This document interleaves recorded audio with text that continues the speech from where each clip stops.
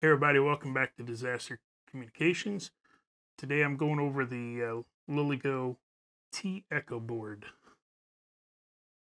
And this one I really like. And it's one of the newest ones put out by LilyGo. Let me put it here under the camera so you can see a little better. This is the newest one put out by LilyGo. And again, if we're having a hard time here in the US getting these from local vendors, so if you're looking for a place to get that, you can get it straight from LilyGo uh, from China. I have a link in the description. And uh, you can get that directly from them. That's where we got this one from. Uh, we ordered, my team and I, we ordered four of them. And I want to say it took about two and a half weeks. It, it wasn't horrible, but, uh, you know, it's just, it's not our two day shipping that we're used to. So if you want one, you can get it from them and it is the it's probably the most popular one right now. It's uh, low power consumption has the low power microprocessor in it. And uh, it has the nrf 52840 board. And it does have uh, bluetooth ble 5.0 and nfc that 5.0 bluetooth uh, definitely boasts a farther range. So you don't have to have your phone you know, kind of like if you get too far out when you're listening to with your Bluetooth headphones. Uh, this one will give you a little bit further range.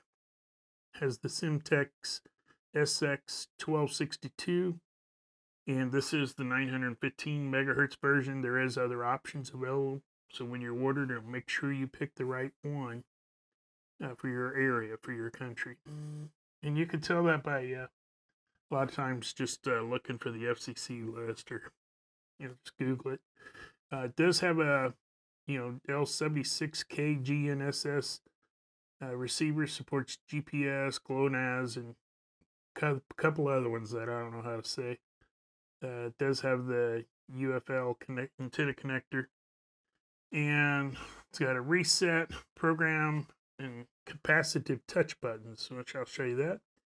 1.5 or 1.54 inch E-Ink display. It's a little bit different display than I'm used to. I kind of like it. Um, now, there is one of these versions that have the optional BME 280 humidity and pressure sensor, which to kind of give you some information there. Uh, comes with case and a battery. And let's jump over here in deep on it and just give you a quick tour. So there's really not much to say. It's it's a uh, you know it's a regular feels like a 3D. Not it doesn't feel 3D to me, but uh, just a plastic case and a little antenna. Make sure when they come in the boxes, the antenna's off of them. So I'll always be sure to put the antenna on first. Here's the touch capacitive button. When I push it, I'm not 100% sure what it does. That's the thing about these is we're we're putting different firmware on them. So like what you think this button may do for like uh, LoRa may be different for us. So it's got a top button. I do know that when you're going to program it and you want to update the firmware, you plug the, uh, U- this one has a USB-C on the side. I really like that. So when you plug that into your computer, you have to push this top button twice. Click, click, kind of like that. And it will show up as a um, hard drive on your on your computer there. So um, the bottom button is the power. If you just hold it down, it'll power up. And a long press and a short two tap turns on the little backlight feature. So we get that to adjust to it. So that's an old message I'd sent before.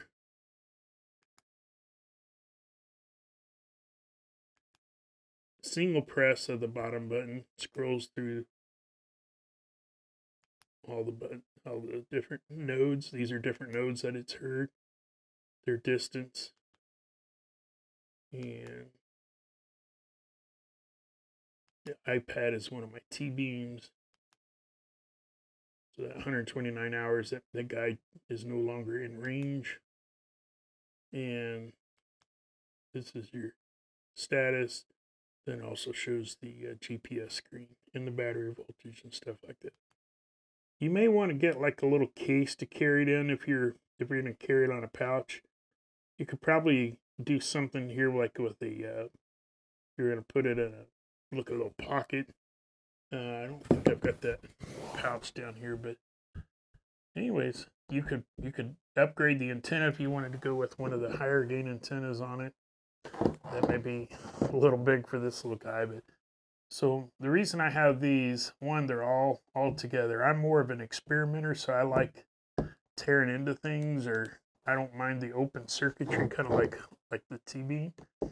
And I'm just going to set them beside each other, give you an idea how, you know, the difference in case. And I struggle with getting this light to. I don't know if it's a quick press or a slow. There we go. So just know, you know, there's some little quirks like that. There, I don't really know and understand what the lights do. I don't know if it's like blue for charging, or, you know, red if it's dead, or what. There's there's no manual for it because, again, we're flashing these, putting different uh, operating systems on them, different firmware on them. But just to show you the difference, we put this in a case. You know, the T beam versus the T Echo. Both these are, all these are made by LilyGo. And just kind of giving you a size comparison. This one has a little bit different screen, but I'm going to say this, these are OLEDs. I'm going to say this screen definitely probably uses a lot less juice. Uh, this is my daughter's. She will charge it overnight, and it will usually get her two days out of that. So it'll last two days but uh, I really like it. Uh, again, if you want one of those, I don't think they're, they're, they may still be on Amazon. I've got that link on the in the description. But if they are sold out there, you're gonna have to order it from China, and that's through the LilyGo link, and I've got that there in the description as well. So I just wanted to show you that. Uh, the firmware flashing is still the same on all these. Just how you get to it, I guess, is the only different thing. The T-Beam, you don't have to double tap anything to get to it. The LilyGo, the Heltec board, and there's a couple others that you have to double tap. And, and that'll set it into programming mode. There's a lot of information on how to program these, but we'll go over each one.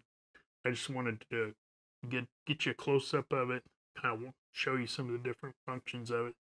They all pretty much are the same. You got three buttons, some have two. The Heltec board has two, but again, most of the time you're controlling these from the the phone, uh, the phone, iPad, uh, Android device, you know, whatever your device is. Uh, it doesn't have to be a cell phone. You don't have to have cellular service. You can get a burner phone. Somebody asked me that. Uh, that's what I'm going to do. Is I'm going to go to the box store, just get one of those fifty dollar Android phones. What I've been using is I've got an Android tablet here. I really like this because it's uh, I put a wet uh, hard hard shell case on it. Hand grip on the back. It does come with a lanyard. You don't have to have the lanyard on it, and you don't have to have the hand strap. I do use Android, and I use iOS. So uh, my girls, my my wife and my daughter, they use iPhone. My iPhone is a little older, so uh, it doesn't, uh, the app's not supported on that. I think it's for iOS 16 or later, so be sure to check that. Uh, so I just use, I have an iPad and a tablet. Uh, the tablet here usually runs with me in the, the, the Tahoe. And I just leave, I've got a tablet mount and I just let that set in the dash and I can watch the map as I'm driving around. So anyways, video's probably long enough for just going over the T Echo. So thank you guys. Subscribe if you haven't already. I appreciate that. That helps out.